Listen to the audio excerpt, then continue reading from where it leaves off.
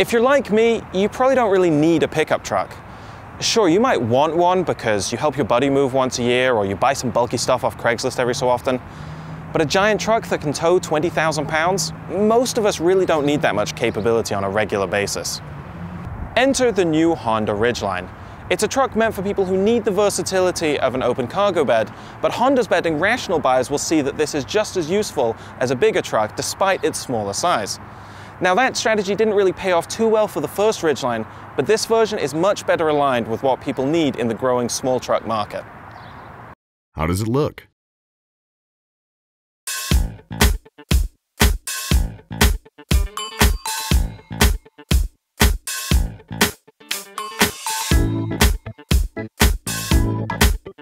Much more so than with the first Ridgeline, the answer is like a truck. Yes, it has a Honda Pilot face up front, but sharp, straight lines make it clear this is a utilitarian vehicle. It's really stylish and it looks tidy and compact. I do find it amusing though that Honda designed in a fake bed separation line to give the Ridgeline a more truck-like appearance. How's the storage? Let's start by noting the really cool dual action tailgate. So it opens in the normal way, like this, but you can also open it to the side, like this. The bed itself isn't enormous, it's about on par with rival short bed trucks, and perhaps its biggest failing is the tall floor, meaning you have very short walls to stack things against. But fear not, because there's a lot more storage available underneath in this lockable trunk. And the coolest thing is, there's a drain plug, so when all the ice that was keeping your beer cool melts, you can easily drain it out. The bed also has handy tie-down loops, and high-trim Ridgelines get a power outlet and in-bed speakers for all your tailgating needs.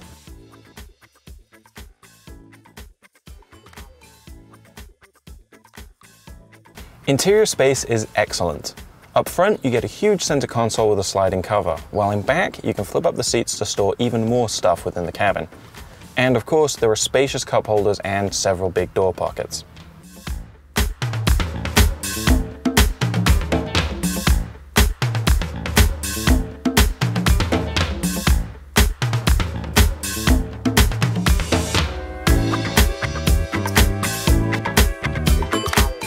Is it roomy? There's so much space. I've got loads of headroom in front, as well as a lot of elbow room on either side. The extensive seat and wheel adjustability will let any driver get comfortable. The back seat is plenty roomy for adults too, even if it's not quite as enormous as the fronts. Either way, the Ridgeline feels roomy and airy in both rows. How does the interior feel?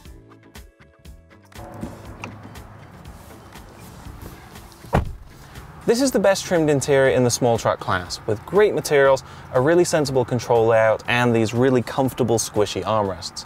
Now, if you're paying top dollar for the highest trim levels of the Ridgeline, you might wish some of the materials were a little bit nicer, but overall for a vehicle that's supposed to be tough and durable, the Ridgeline's interior is great. Is it well equipped? Gone are the days of small, cheap pickups coming with crank windows and vinyl bench seats.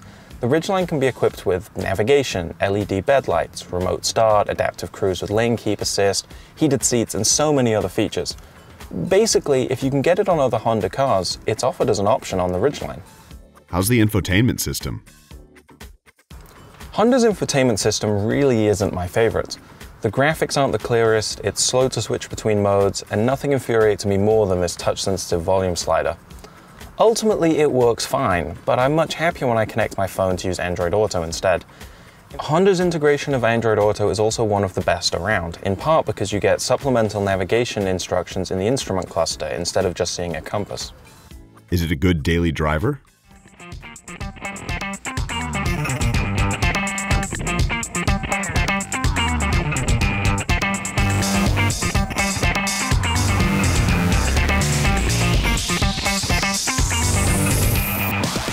Now, the Ridgeline has more car-like unibody construction and it's got a multi-link rear suspension, so compared to some traditional pickup trucks, you get really great ride quality.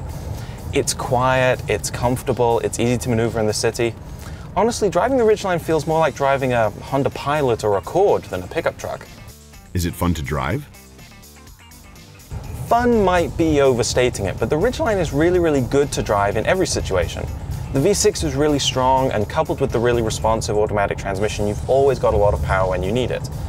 And the handling's really good too, especially considering this is a tall truck with a really comfortable ride. It's still really well controlled. In fact, this would be a good driving car if it was a small SUV, never mind a pickup truck. How's the fuel economy? All-wheel drive Ridgelines like this one get 18 miles per gallon city and 25 highway, while front drive models bump those ratings up by one each. There's a downside to going for the more efficient model though. Front-wheel drive Ridgelines can only tow 3,500 pounds compared to 5,000 pounds with all-wheel drive. How much is it?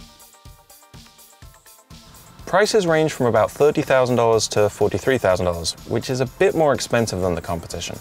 This is the boringly named RTL E trim, the second priciest version behind the Black Edition, and it's 42 grand.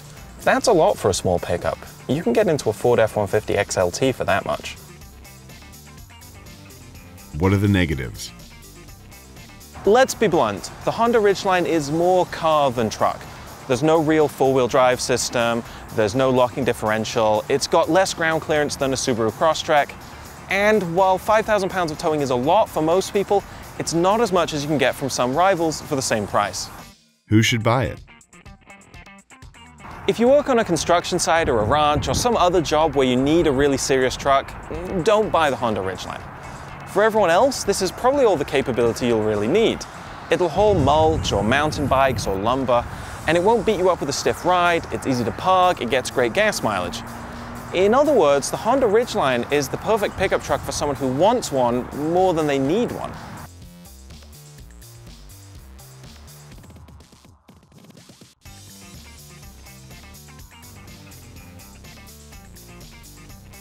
Hey, if you liked this Why Buy, remember that there's a new one every Thursday on our YouTube channel. You can also leave us a like or dislike to tell us what you thought of this clip, and leave us a comment about what you'd like to see in future Why Buy videos. Don't forget you can also follow us on Facebook or Twitter, and you can see us at motor1.com.